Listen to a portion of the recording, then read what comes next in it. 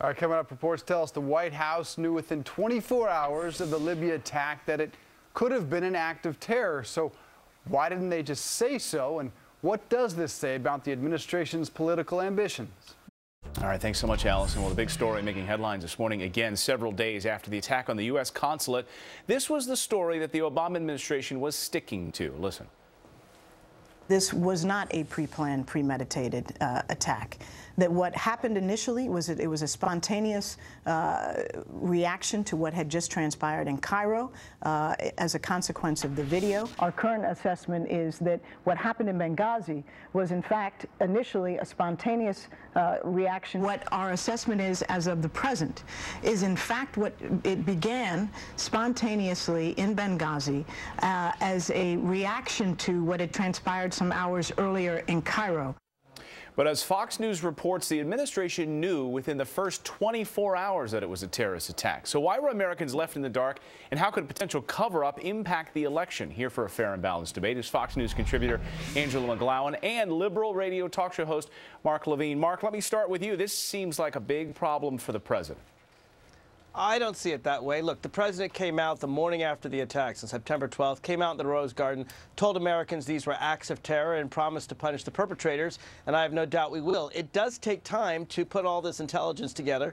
We now know, or appear to believe, that it was a local Libyan militia named Ansar al-Sharia that basically opportunistically hijacked the ongoing spontaneous protests. The Washington Post reported that it took seven hours after the protests and the attacks began for them to go home, get their mortars, and use them to firebomb the consulate. So the, what intelligence analysts believe now is that they cased the joint. It was a pre-planned attack, but maybe the day wasn't pre-planned. So it did begin as a spontaneous protest. Then they came in, hijacked it, and, and killed but those Mark, American heroes. Does that the administration Angela? was lock in step with their statement. You had Hillary Clinton that came out. You had our UN ambassador that came out. You had Jay Carney, the, the White House press secretary, saying in essence that this attack was spontaneous and it was because of an anti-Muslim video. Now we know to the contrary, and I'm so delighted that John Kerry, even though he's working with Obama on his debates, is actually going to lead an investigation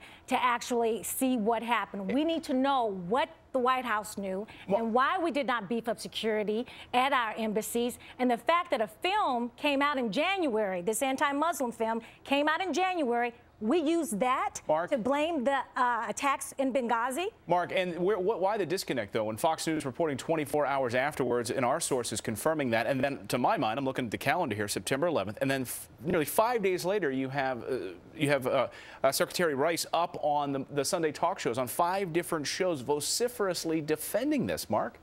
Well, again, the President of the United States, within 24 hours, called this an act of terror. So we knew it was a terrorist attack. Well, we didn't know exactly who did it and whether it was planned. And it turns out that, again, the terrorists saw this spontaneous uh, protest against the, the video, the despicable video. They ran home. They got their mortars. It was only seven hours after there were gun battles, after the attacks we, began, that they used those mortars. Angela, so, will this be a problem for the president come to the debate? Foreign policy going, is up yes, first in the debates. Yes, and I believe that this is going to be a problem. And as Ben Stein said and others, this could be worse than Watergate for the Obama administration. But the problem is, will the mainstream media actually report it? So people need to tune in to the debates, and Mitt Romney needs to hold Obama's feet to the fire. Mark, final word on the debate. Will it be a problem for the president?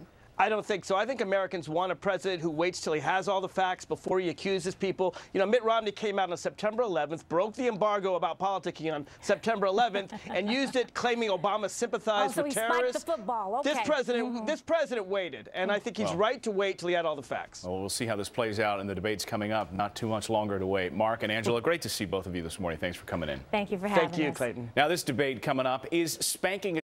We start with what's being now labeled as Benghazi Gate for the Obama administration, the evolution of what might be the truth of what happened regarding the killing of Ambassador Chris Stevens and three others at the consulate there in Libya. Now the Director of National Intelligence is weighing in. Is he giving cover to Susan Rice for the administration's wobbling evolution on the truth. Well, we may see how this argument's now about to play out, right? We had a debate on the show just a little while ago. Fascinating because I was hearing from Mark Levine, who's a liberal talk show host, maybe the argument from the left, which is that this intelligence may have been muddled from the beginning and they were making their way to uncover it. This is what the director of national intelligence is now saying it was on us, basically, not the White House.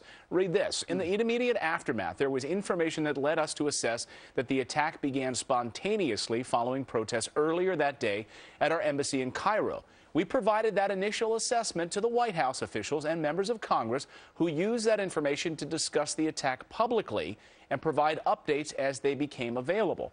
Throughout our investigation, we continued to emphasize that information gathered was preliminary and evolving. And the White House came out, the president, within 24 hours or so, and said it was a terrorist attack. But then you had Susan Rice coming out five days later, even on the Sunday talk show, saying it was spontaneous. So there's a disconnect. Related to this anti-Muhammad uh, film, Prophet Right. Muhammad Right. film, of course. I don't know what's worse. I don't know what's worse, it, whether the administration intentionally misled the American public, as the critics charge, for political reasons, or whether this was a massive intelligence failure that our intelligence officers either cannot get access to Benghazi or don't have the tools or resources to find out what was really happening on the ground. Because, by the way, witnesses said it right away. Witnesses said it. The president of Libya said it. People there knew that this was a terrorist attack right, right, guys? away. Why didn't our intelligence And right, guys. Fox News confirmed it within Right. 24 hours. Catherine Herridge has confirmed that within 24 hours it was being labeled that, and even being labeled something that related to an offshoot of Al Qaeda. So I agree with you. I don't think this covers Susan Rice or the administration at all. We already knew they evolved. The question is why.